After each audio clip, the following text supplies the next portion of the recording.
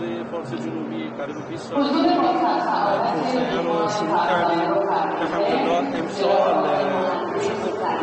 کار رو جمعندی می‌کنیم در بخش دریامون کارا تکمیل شده به فاز 11 که کار داره دنبال میشه در بخش خشکی هم ما در مجموع 13 تا پالایشگاه داریم که 12 تا پالایشگاهش